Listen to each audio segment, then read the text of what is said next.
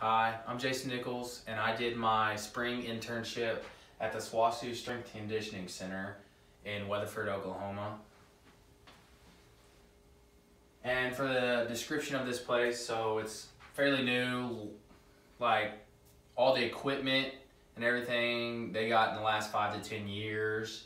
It's mainly free weights, so you got racks with all the weight and all that on it, and then you have a couple of machines it's got two office spaces. One, as you see here, is one of them. It's got two computers, and then the main office space where the strength and conditioning coach is, has a uh, computer as well.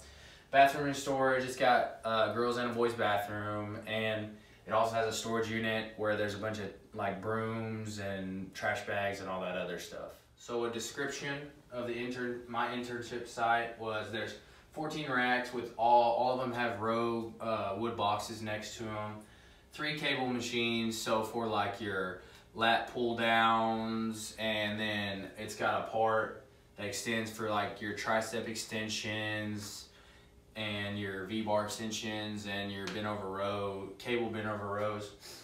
And then it has seven vertical steel boxes. So instead of like your row boxes where it only goes so high, you got the steel ones that go up. I think goes up to right here and goes all the way down to like your shin height.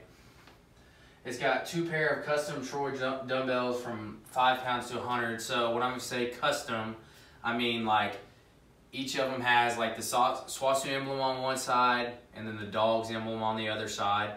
And there's, it goes from five to, to 100 on the left side and five to 100 on the right side. And then two neck roller machines. These machines are hardly used. It's kind of, they're put over there. Some people use them but I'm not a big fan of them. They kind of just sit in the way of everything. They're just machines that rotate this way and rotate that way, and you can add weight to the various sides of them. The the one leg extension machine and two hamstring curl machines is like so you got your leg extension where you're sitting up and then you got your prone leg or leg flexion and extension and then your hamstring curl machines would be like something that a lot of people just use for abs mainly because they use the boxes for your ham curls. But they're, I feel like they're a better source for abs and hamstrings because it's getting the entire pull in it without like someone having to hold you down for it. And then it's got one elliptical, one treadmill, both are Precor. I think that's a Precor. It's that's their brand. And both of them are decently new, as in like last five to ten years new, but there hasn't ever been any problems with them from what I've heard from Coach Jackson, the strength coach, or anybody else. So like I said, this is a fairly new place. Like this is your general rack right here. You've got your 45s, 25s, 10s, 5s, two and a halfs, and this is like also what I'll talk about later about how like aligning stuff and putting the bands up bands right there. You got your road box over there. You got your med balls down here. You got your exercise ball. You got your bench. You got your pull ups and everything. And then, like I also said, it's mainly free weight. Like you don't see any like machines coming off this because the machines are on this side or that side of the facility. And then there's the two. There's the office. So there's the office for the interns. There's the strength conditioning office and then the bathrooms are back there as well as the uh, storage unit. So the intern's responsibilities is pretty much like picking up after people. So like you got to clean the machines and the weights every day because honestly that is crucial because no telling how many people come in here and put their hands on stuff and they're not like doing the other stuff outside here like washing their hands, staying like clean when it comes to just like blowing their nose and then not washing their hands after something like no telling how much is actually on those bars if you don't clean them every day or them weight those weights. Uh, vacuum the floor vacuum the floor every week to two weeks. Matters when coach says it mainly needs it. The easiest part is going down the lanes because this place is fairly long. I'm not sure how many yards it is but it just gets kind of tough when it gets around the racks because all that's when usually guys are like sitting and squatting and stuff and they got grass all over their feet from the stuff we had them do outside or anything other than that. Another annoying thing you do here is uh, pick up the weights and make sure each rack is clean. When I say clean, I mean like in proper like alignment. So like you got your two and a halfs on top, fives, tens, 25s, and then 45s on the very bottom. When a lot of people like to like just put weight up and think that it's actually put up when no, they, they didn't leave it better than they found it. So then that's where we come in, like, or interns come in and they have to pick up after people pretty much. And then I have to make sure all the dumbbells are aligned. I'll demonstrate what I'm talking about in the next like portion of this video, but it's pretty pretty annoying when it comes to fixing the dumbbells and literally it's so easy that people are just lazy enough to where they leave them out or re like align them wrongly. It's like they just don't care. They just leave it for the next person, which I I don't understand how that even happens.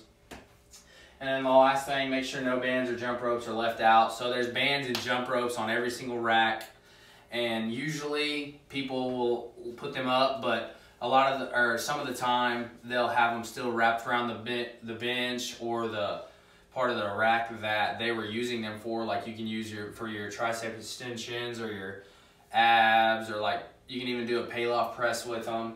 And then the jump ropes as well. Like there's a band thing or there's a rack up here where you can put all your jump ropes, but also you can hang them on the racks uh, where they're you where they're supposed to really go. Okay, so I I've told you about my internship responsibilities and how repetitive it's become and like all this and what I'm talking about when I say pick up your weights and pick up your dumbbells like this is a lot of what happens here. So if you see like it's got SWOSU emblem on this side and this one has a dog's emblem. And on the door it literally says clean up your rack clean up the dumbbells put them aligned like they're supposed to be because when they're all aligned out they look perfect. And so this is my daily activity and this also happens a lot with weights being left on the ground literally right in front of where they're supposed to go. But people, like I said, have gotten lazy about putting up stuff because people have always just came and put it up for them. So th this is literally my job. Okay, my special project was to make a video for SWOSU Strength Conditioning that could be sent out with their summer lifting program. It would be pretty much like a walkthrough of how to do all the lifts and all the stretches that will be in on all the workouts that are sent out. So like I got a, when I first came here, I got a lot of messages and emails about how to do this type of lift or what kind of lift it was or this kind of stretch or what kind of stretch it was. So this video would be like a tutorial for most of the people that are coming in that don't have any idea what's going on here yet, that are getting all the summer workout programs from coach and just have no answer to it, like they don't understand it, so they don't even do it. That's when the laziness comes in, but this tutorial will be like the gap that fills that just confusion when it comes to the stretches and the lifts. Okay, what I wish I would have known before I started this internship was how repetitive my daily life, like activities would have been. So like I said earlier, like the cleaning up the racks, cleaning up the dumbbells, cleaning up the bands, realigning the dumbbells, realigning bands, realigning the racks, as well as how annoyed I would get with pretty much repeating myself all day, every day, saying like, hey, don't forget to re-rack your stuff. Hey, don't forget to realign the dumbbells. Don't forget to put up the bands. Don't forget to put up your rollers. Don't forget to put your mats exactly where they're supposed to be, which is behind the rack where they are every single morning. Another is how to manage my time better. So what I kind of started doing was I started getting lazy when it came to, I'd come in here with teams and after teams, I would like, there'd be like an hour gap that I would just be sitting around doing nothing. And if I could go back again, I would start where I would work out before my class and then come back and finish a longer portion of my workout after my class was done.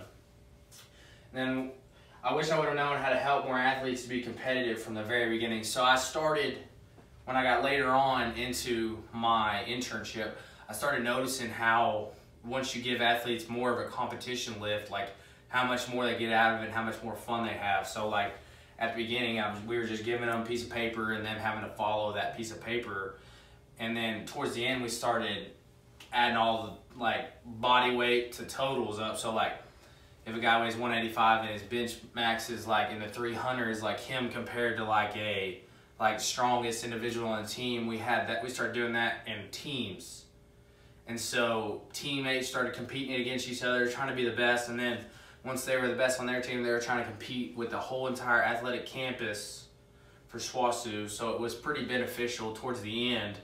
And if I could go back, I would start that from the very the very beginning and see where a six months. So my future plans would be to be a GA for the Southwestern baseball team, or it honestly matters who the new strength coach is going to be next year, to whether or not I could be a GA for him next year. It would all be on who gets the job and when they get the job and all that. And also, if I wanted to, I could be an assistant strength coach for the Weatherford High School. That'd be like that'd be like my third third like step, what you would call it, for like my future. But as of right now, the GA for the baseball and the GA for the SWOSU strength conditioning facility would be like top priority for me. Okay, some important insights. When interning here, take every advantage you can, like I talked about earlier, how I need to manage my time better. That would probably be best, and how I could do better with all the athletes. And when I say man, like take advantage of everything, it comes to training, observing, learning, and and that comes with interning that at this type of facility. So like I'm dealing with athletes all day. I'm dealing with people that share the same insights as me. So trying to be like better every single day, trying to be great, trying to focus on something other than like this campus, trying to go farther. And then big thing for me would be like I need like when I bring in on other interns, I would tell them they need to show up every day and bring the energy because what I have noticed is some athletes just come in here and go through the motions and are like just here because they have to be instead of here to get better. And in my mind, it comes from your coaches, your leaders, everybody involved because this should be a place where you come and give everything you have so you can do better on your playing field, not a place you go because you have to. This is a place that not everybody gets to go to, and honestly, this facility is very top of the line. So, in my mind, I would be more of like a leader to the guys coming in, be that vocal guy that they needed just so they could push that extra mu- like much every day.